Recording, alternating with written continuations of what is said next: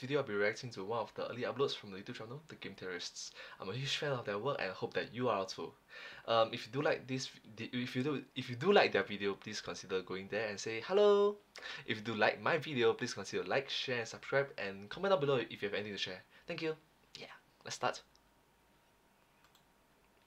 This is from what 2009. This video, yeah. It's around nine years ago, right? I think so.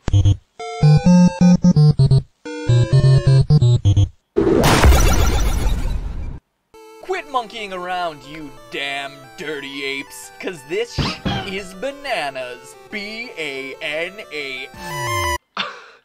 B N uh, B A N A. What's the N A at the back?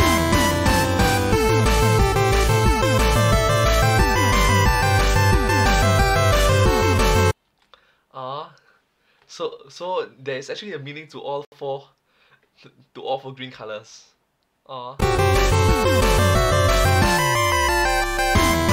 AS. Hello, Internet. Welcome to Game Theory, the show where nothing's made up and the points do matter. That's Come right, on. the points actually matter, unlike everything Drew Carey does in improv comedy. Oh, come on, you know it's true. Cue the clip. You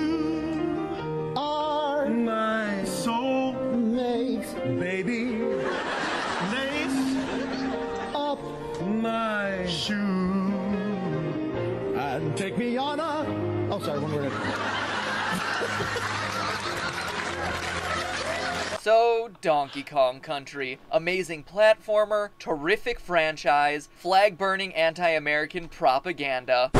Whoa! Step off there, Holmes. It's just a game about monkeys and bananas. Or is it? DKC is anti USA, and that S U C K S H E R E apostrophe S W H Y. Loyal theorists will recall from the Adventure Island episode that America doesn't always get along well with its island neighbors. In that episode, we looked at the Philippine American War, where the US stepped in to save the Filipinos from their Spanish rulers, only to then take control themselves. Hey, we're here to save you, psych! But that wasn't the only island on America's hit list.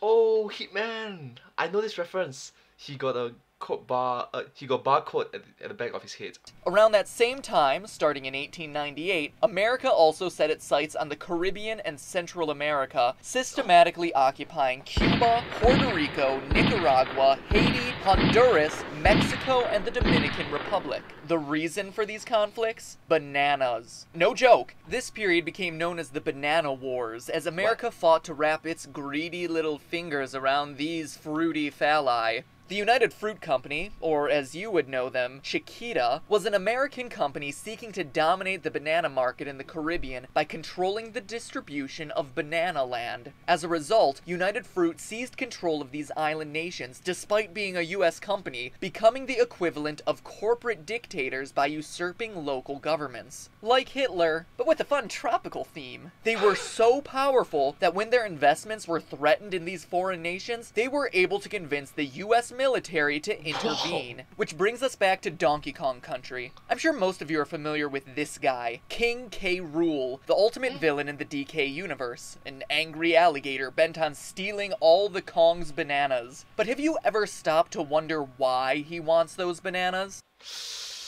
Why? I mean, the game never really explains it. It's not like a carnivorous alligator eats bananas after Oh, all. no. And in DK Jungle Climber, he openly admits to hating them. So could it be that he wants these for financial gain? Gregg Mayles, one of the designers for DKC, has gone on record saying that K. Rool may steal the bananas because he wants Donkey Kong to starve to death, allowing K. Rool to occupy his treehouse. Now, as we all know, Americans have a flair for occupying things, Oh, and we did just finish talking about how US soldiers were occupying all these island nations during the Banana Wars, but that's a bit of a stretch. So let's look at K. Rool himself. The guy dresses like a king, but the final level takes place on a pirate ship. The two things just don't match up. If he's a king, shouldn't he have a kingdom? Or someone that's landed property, isn't it?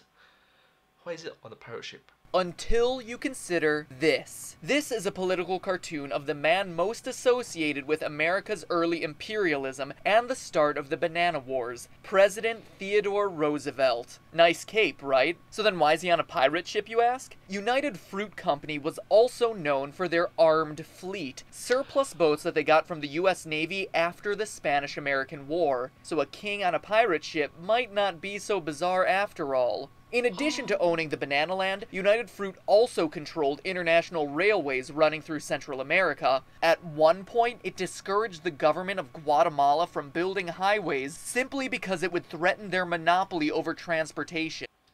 Come on, that's terrible.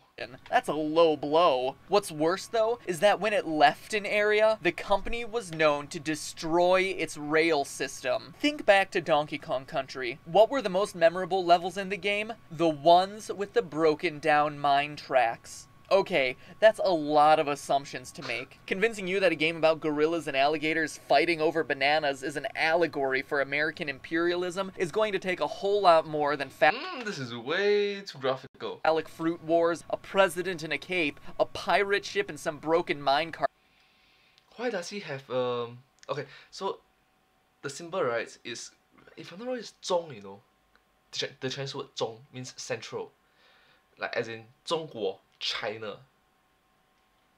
Why? tracks. But this is game theory, where we cover every angle possible. Thus, I present to you Krusha the Kremling, one of King K. Rool's chief underlings. In a game where clothing is limited to the occasional double windsored tie, don't you find it odd that this guy is sporting an army issue camouflage unitard? Clearly, this points to the Kremlings being symbolic of some sort of organized militia.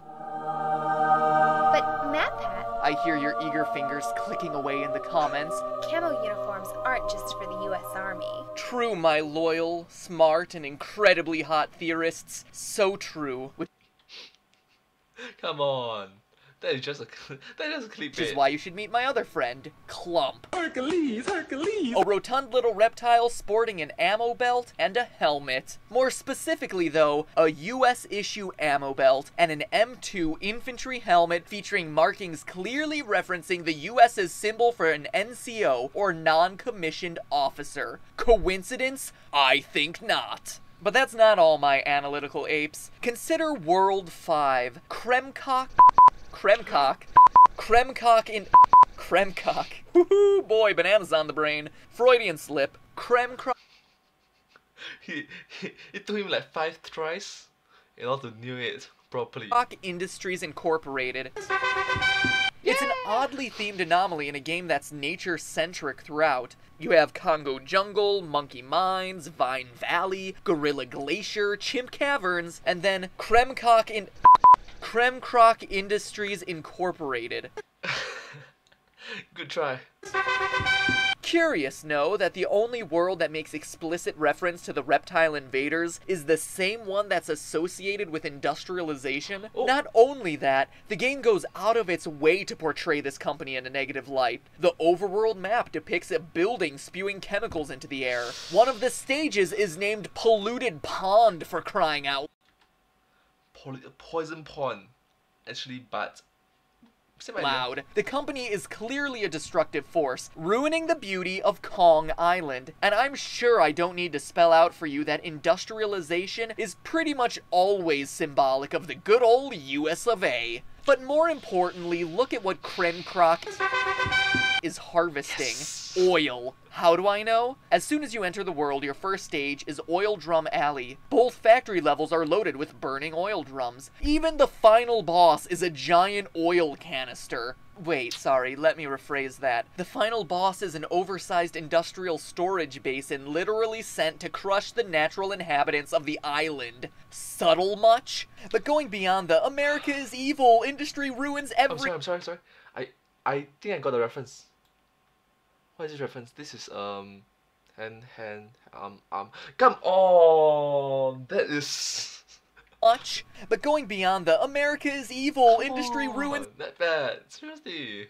Everything aspects of this. A quirky little spin off of the Banana Wars involved the US invading Mexico to protect their oil interests. What started off as a cute little sitcom misunderstanding between cultures escalated into a six month occupation by the US in the Mexican city of Veracruz. So let's recap. We have a war over bananas, led by an imperialistic president, featuring an industrialized enemy, with an armed fleet that owns and destroys rail lines, who uses a well equipped army to secure fruit and oil for the good of Kremland.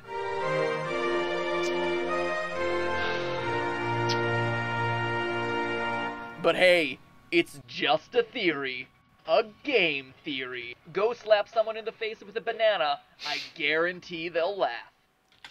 I couldn't guess the reason why you have to redub this that session is because the music that he was using previously was sort of not appropriate.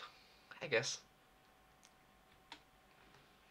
It's anti imperialism uh imper im as anti um anti anti imperial imperial imperialist or uh, something like. Gosh, I need to learn. I need to improve. Wow, that's a lot of credits. Getting married. Oh my god, congrats! Getting married. And also getting married. Coincidence? I think not. Best man. Ah. Congrats. Congrats to you. So she they, they got married at 2012, I think. So it's like that's a good I think. It's around years ago. ring, ring, ring, ring, ring, ring, ring. Banana Congrats. phone. I bet it's Ping getting married. ping pong, ping pong, ping. Nice. Banana phone. It's no baloney. It ain't a phony. My cellular, bananular phone. Alright. That's nice. So um the tears tears aside, congratulations for for getting married. Actually he's a father right now. The their son is like getting older and older and older he's not. he's no longer MatPat it's dad pad